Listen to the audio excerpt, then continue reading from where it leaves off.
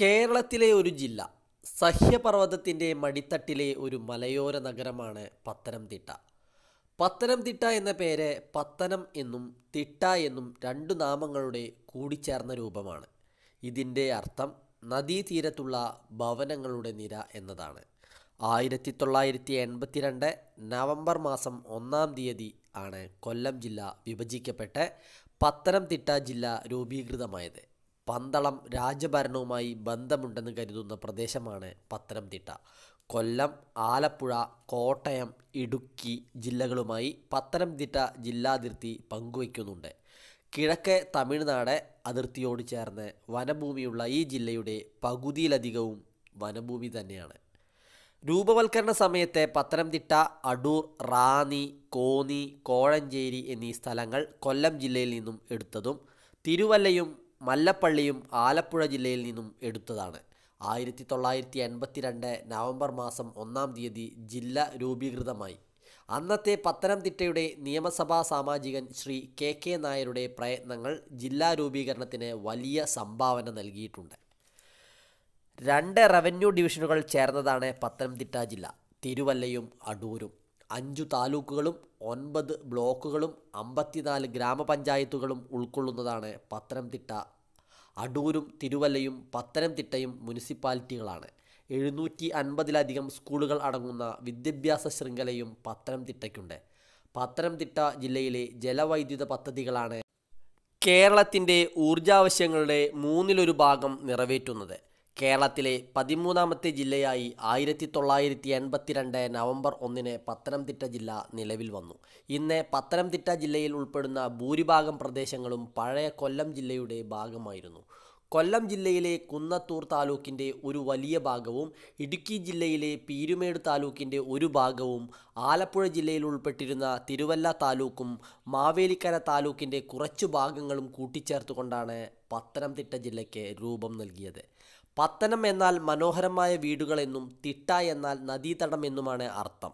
നദീതീരത്തെ നിരനിരയായി വീടുകളുള്ള സ്ഥലം എന്നതിൽ നിന്നാണ് പത്തനംതിട്ട എന്ന സ്ഥലനാമം ഉണ്ടായതെന്ന് കരുതാം. വടക്കുഭാഗത്തെ കോട്ടയം ഇടുക്കി ജില്ലകൾ വരെയും കിഴക്കുഭാഗത്തെ തമിഴ്നാട് സംസ്ഥാനം വരെയും തെക്കുഭാഗത്തെ കൊല്ലം ജില്ല വരെയും പടിഞ്ഞാറു ഭാഗത്തെ ആലപ്പുഴ ജില്ല വരെയും അതിരുകൾ വ്യാപിച്ചു കിടക്കുന്ന പത്തനംതിട്ട ജില്ലയ്ക്ക് രണ്ടായിരത്തി അറുന്നൂറ്റി നാൽപ്പത്തിരണ്ട് ചതുരശ്ര കിലോമീറ്റർ വിസ്തീർണമുണ്ട്. മല്ലപ്പള്ളി പുളിക്കീഴ് കോയിപ്രം ഇലന്തൂർ റാന്നി കോന്നി പന്തളം പറക്കോട് എന്നിങ്ങനെ എട്ട് ബ്ലോക്ക് പഞ്ചായത്തുകളാണ് ഈ ജില്ലയിലുള്ളത്. അൻപത്തിനാല് ഗ്രാമപഞ്ചായത്തുകളും അറുപത്തിയെട്ട് വില്ലേജുകളും മൂന്ന് മുനിസിപ്പാലിറ്റികളും അഞ്ച് താലൂക്കുകളും പത്തനംതിട്ട ജില്ലയിലുണ്ട്. പത്തനംതിട്ട തിരുവല്ല അടൂർ എന്നിങ്ങനെ മൂന്ന് മുനിസിപ്പാലിറ്റികളും പത്തനംതിട്ട തിരുവല്ല അടൂർ മല്ലപ്പള്ളി റാന്നി എന്നിങ്ങനെ അഞ്ച് താലൂക്കുകളിലായി ഈ ജില്ലയിലെ തദ്ദേശ സ്വയംഭരണ സ്ഥാപനങ്ങൾ വ്യാപിച്ചു കിടക്കുന്നു. ഭൂപ്രകൃതി അനുസരിച്ച് പത്തനംതിട്ട ജില്ലയെ മലനാട് ഇടനാട് തീരസമതലം എന്നിങ്ങനെ മൂന്നായി തരംതിരിക്കാം.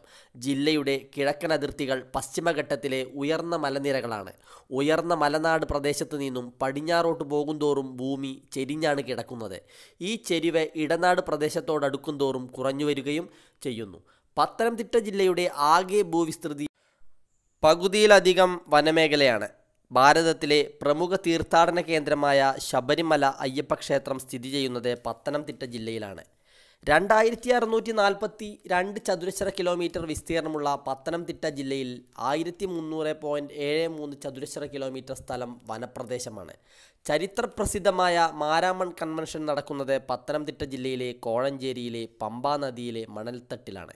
ഇന്ത്യയിൽ ആദ്യമായി സ്വകാര്യ ഉടമസ്ഥതയിൽ നിർമ്മിക്കുന്ന ആദ്യ വിമാനത്താവളം നിലവിൽ വരാൻ പോകുന്നത് പത്തനംതിട്ടയ്ക്ക് സമീപത്തുള്ള ആറന്മുളയിലാണ്. ഉയർന്ന പ്രദേശത്തെ ജനവാസ കേന്ദ്രം എന്നതിൽ നിന്നുമാണ് പത്തനംതിട്ടയ്ക്ക് ആ പേരുണ്ടായതെന്നാണ് സ്ഥലനാമ ചരിത്രകാരന്മാർ അഭിപ്രായപ്പെടുന്നത്.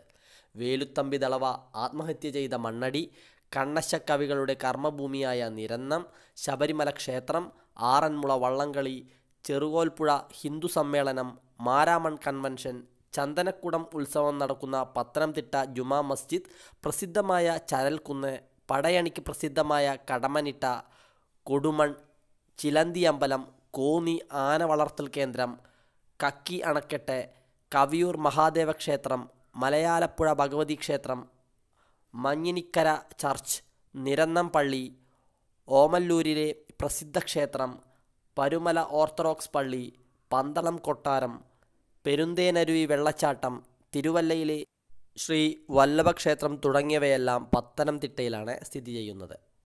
കേരളത്തിലെ തെക്കൻ ജില്ലകളിൽ നിലവിൽ വന്ന അവസാന ജില്ലയാണ് പത്തനംതിട്ട. ലോകസഭാ മണ്ഡലം ഒന്നാണ് നിയമസഭാ മണ്ഡലം അഞ്ചെണ്ണം. തീർത്ഥാടന ടൂറിസത്തിന്റെ ആസ്ഥാനം എന്നറിയപ്പെടുന്നതും പത്തനംതിട്ടയാണ്. തമിഴ്നാടുമായി അതിർത്തി പങ്കിടുന്നു. സാക്ഷരതാ നിരക്ക് കൂടുതലുള്ള ജില്ലയാണ് പത്തനംതിട്ട. ജനസംഖ്യാ വർധനാ നിരക്ക് ഏറ്റവും കുറവുള്ള ജില്ലയാണ് പത്തനംതിട്ട. ഇന്ത്യയിലെ തന്നെ സീറോ ജനസംഖ്യാ വർധനാ നിരക്കുള്ള ജില്ലയും പത്തനംതിട്ടയാണ്. ഇന്ത്യയിലെ ആദ്യ പോളിയോ വിമുക്ത ജില്ല പത്തനംതിട്ടയാണ്. ഏറ്റവും കുറവ് റെയിൽപാതയുള്ള ജില്ലയും ഏറ്റവും കുറവ് റെയിൽവേ സ്റ്റേഷനുള്ള ജില്ലയും പത്തനംതിട്ടയാണ്. മധ്യ തിരുവിതാംകൂറിന്റെ ജീവനാടി എന്ന് വിശേഷിപ്പിക്കുന്ന റോഡായ ടി കെ റോഡ് പത്തനംതിട്ടയിലാണ്. സമുദ്രതീരം ഇല്ലാത്ത ജില്ലയാണ് പത്തനംതിട്ട. ഏറ്റവും കൂടുതൽ റിസർവ് വനങ്ങളുള്ള ജില്ല പത്തനംതിട്ടയാണ്. കേരളത്തിലെ പക്ഷിരോഗ നിർണയ കേന്ദ്രം പത്തനംതിട്ടയിലെ മഞ്ചാടിയിലാണ് സ്ഥാപിച്ചിട്ടുള്ളത്.